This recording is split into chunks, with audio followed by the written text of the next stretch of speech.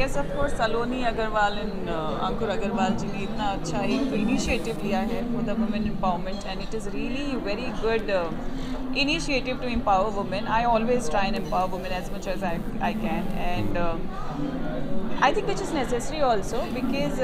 कहीं ना कहीं कितना भी बोल लिया जाए कि यू नो uh, औरतों को वो स्पेस दिया जाता है अभी भी uh, इस समाज में कि वो आगे बढ़ के डट के यू नो अपनी मन की बात रख सकती हैं अब कुछ भी कह सकती हैं। बट आई फील कहीं भी उनको कहीं एक एक एक पॉइंट ऐसा आता है, फिर भी उनको सप्रेस किया जाता है, दबा दिया जाता है। एंड आप भी, हम लोग देखते भी हैं कि बहुत सारी चीज़ें होती हैं वी डोंट इवन से नहीं बोल पाते यू नो सोसाइटी की वजह से कि नहीं, ये बोलेंगे तो हम औरत हैं, ये चीज़ नहीं निकल पाएगी। बट आई थिंक ये जो इनिशिएटिव इन्होंने लिया है, बहुत ही पॉलिश्ड वे औरत को और अच्छे से निखार के, तराश के और जो वो कहना चाहें वो कह सकती हैं इतनी हिम्मत लाने के लिए वो कॉन्फिडेंस देने के लिए ये बहुत अच्छा initiative and I am very happy to be part of this initiative मैं पहले तहे दिल से उनका आभार व्यक्त करता हूँ उनका आ, उनको धन्यवाद कहना चाहता हूँ कि उन्होंने एक इतने बड़े कार्यक्रम का आयोजन करा। और मैं समझता हूँ कि it is very easy said and done I believe uh, Ankur Agarwal ji and Saloni Agarwal ji, both of them as a couple also and as a team also, they must have tried their best of the hands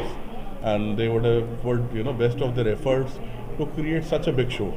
It looks easy, but uh, you know when you actually do it, it becomes too difficult to put up so many things at one you know under one roof and come up with such a great show.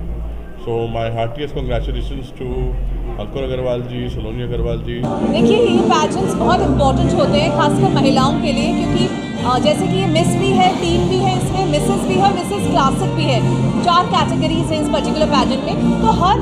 हर तरह की लड़कियों को, ये एक महिलाओं को एक मौका मिलता है कि वो अपने को प्रूव कर सके, वो आगे बढ़ सके और खुद भी कुछ अपनी रिकोगशन पाएँ और बहुतों को वो इंस्पायर करें। तो मेरे हिसाब से ऐसे पैजेंट्स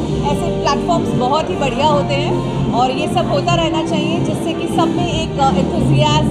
रहे और मोटिवेशन का लेवल रहे और महिलाएँ और सतर्क बने एम्पावरमेंट के लिए। जैसे कि इनका लोगो भी यही कहता है empowering women globally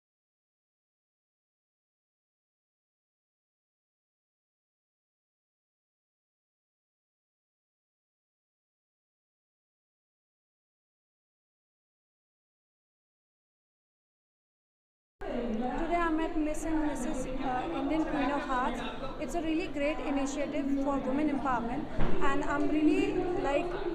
it is an overwhelming feeling for me. Like Ankur, Mr. Ankur Agarwal and Saloni Agarwal ने बहुत ही शो ऑर्गेनाइज किया है आज मैं यहाँ पे एज अ जज आई हूँ Miss and Mrs India Queen of Hearts जज करने एंड ये मेरे शो में सेकंड सेकंड टाइम है